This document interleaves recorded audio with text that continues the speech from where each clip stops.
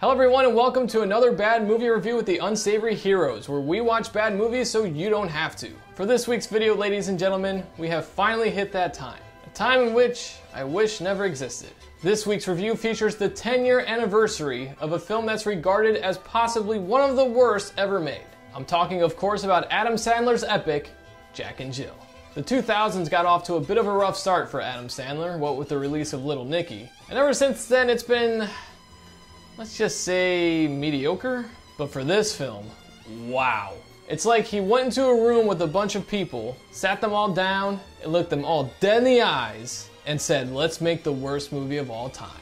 And it was met with thunderous applause. Just how terrible is this movie? Well, I mean, it did win 14 awards, but 10 of those are Razzies. Three of those were pretty much Worst Picture awards, and the one positive was a Blimp Award, which, in case you didn't know, is for the Nickelodeon Kids' Choice Awards. Kids really do say the darndest things. Well, it's time to find out if this movie is truly as terrible as everyone has made it out to be for the last decade. And this will be my first time watching it, so join me as we go on this adventure together through Jack and Jill. Our movie begins with a compilation of multiple sets of twins talking about their relationships for about a minute and a half. This is immediately followed by home video footage of Jack and Jill growing up for over a little over two minutes. So for the first roughly four minutes of this 90 minute runtime, all we get are twins, twins, and twins. When we finally get to Adam Sandler, he's on the set of a commercial shoot for Pepto Bismol starring Regis Philbin. We also see Dana Carvey in his first movie since the disaster that was Master of Disguise. Regis doesn't like his line, and Tim Meadows shows up and mentions really his only reason to be in the movie, and that's to inform Jack about Dunkin' Donuts updates. He tells Jack to get Al Pacino for a commercial to promote a new coffee. He also gives the audience its first plot point in that Jack has one month to get the famous actor to do the commercial. Todd shows up and tells us information we'll need later about a cruise Jack and his family will take after Hanukkah. He also tells us that Jill changed her flight and she'll now arrive at 4 in the morning. Still under control of Tom Cruise. 17 magazine. Yes!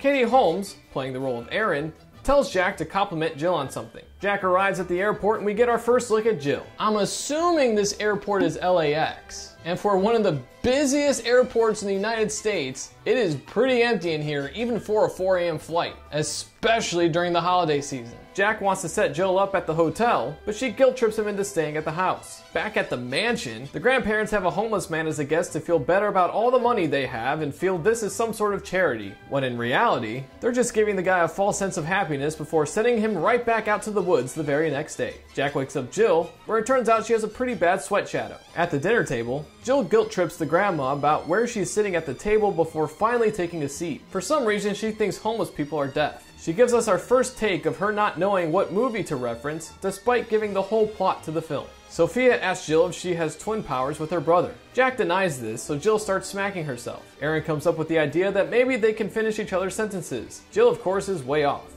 She calls Jack Pagogo, which is what she called him when they were younger as part of their own language. This sets Jack over the edge and he finally snaps at Jill. She goes running off into the woods and we find out Jill doesn't know what the internet is despite being the year 2011. What I'm guessing is the next day, Jack is watching a video of Al Pacino rightfully snapping at an audience member for having their phone go off in the middle of his play. I'm with Pacino on this one. Have some courtesy if you're gonna go to a play or a movie. But one thing I would like to point out is why is it every time in a movie where there's a YouTube video or handheld footage caught by someone, there are always these weird angles and multiple takes of things.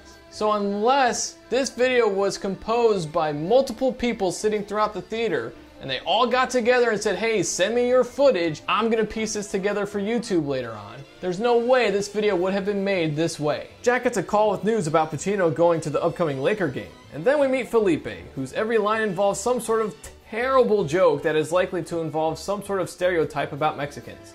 Oh, I'm sorry. I thought you were a wax sculpture. No, man, I'm the janitor. I'm supposed to be cleaning, but I'm so tired. Jill gives Jack a list of things she wants to do before leaving. Jack doesn't think she'll be able to accomplish this with how few days she has remaining with them, but then she breaks the news she has an open-ended ticket for her flight back. We then get a montage. That's called a montage. Which includes Jill killing a horse, creepily staring at Jack while he sleeps, and knocking herself out on the wheel on The Price is Right. Back at home, Jack watches Jill as she rides a jet ski around in the pool. At the movie theater, Jack and Jill show their similar characteristics by holding the same pose, both simultaneously hacking on a popcorn kernel, laughing, resting, scratching their crotch, and farting the exact same way. Jill's phone then goes off, and of course, she has no sense of where she is and just talks as loud as possible. Hello?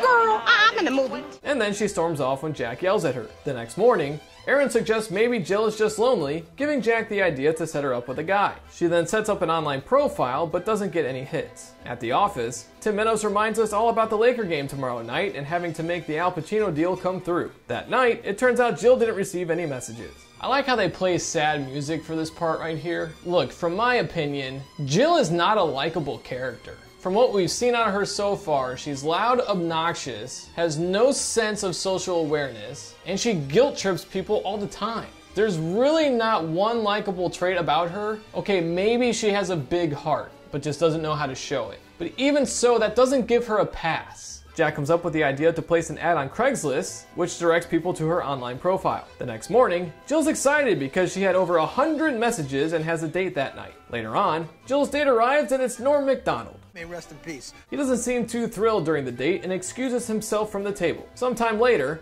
Jill goes to check on her date in the restroom, but she can't find him, even though all she had to do was look up. One thing I'd like to point out about this guy is that yes, he should have just toughed it out and sat through the rest of the date. However, when you think about it, he's a pretty considerate person. He left the stall door unlocked, allowing anyone to come and go at their own leisure while he was kung fu ninja death gripping the light above. He could have easily locked that door and made someone potentially shit their pants. But no, he thought about everyone else and thought that would be a bad idea and left that door unlocked. God knows how many he was hanging there for, but at least he was thinking about other people. Jill arrives home and storms off upstairs after the kids barrage her with questions. Erin and company go to console Jill, and it turns out Jack is taking her to the Laker game tomorrow night. Because it's an Adam Sandler movie, basketball is shown and we see Kobe Bryant. Pacino sits courtside next to Johnny Depp. He's incognito because he doesn't want to get recognized, but of course it doesn't work. Jack introduces himself and it's an awkward interaction. Jill starts talking and Jack mentions she's from the Bronx.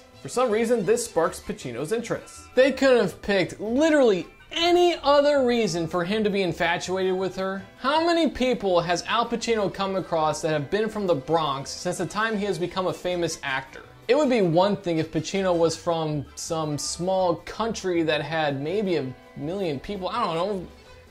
I can't really think of anything right now. But a quick Google search of the population of the Bronx shows that in 2020, the population of the borough was 1.4 million people. That is about the size of a small country. And it's not even all of New York City. Anyway, enough of that tangent. Jill wants nothing to do with Pacino and pulls away before Jack can get anything done with the star. During the game, Pacino lustily stares at Jill and sends her a hot dog with his number written in ketchup.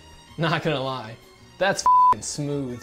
On the car ride home, Jack tries to convince Jill to call Pacino, but she doesn't want to do it. She mentions how she's going to stay longer, and of course, Jack is not happy about this. So much so, he commits some major traffic violations. At the birthday dinner, it turns out it's a surprise party. For some reason, Tim Meadows is shocked that the two twins look alike. And one of the ultimate signs of this movie not aging well, Jill's conversing with the old subway guy, whose name we shall not mention.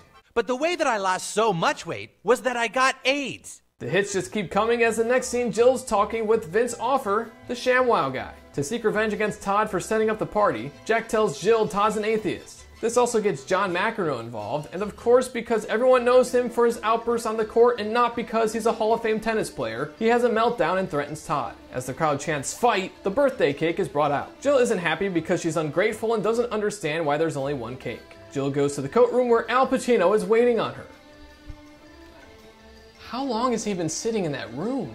He takes her over to his place under the impression he was bringing her to a bakery. This has some serious SVU vibes. He shows a plethora of sweets he made for her birthday.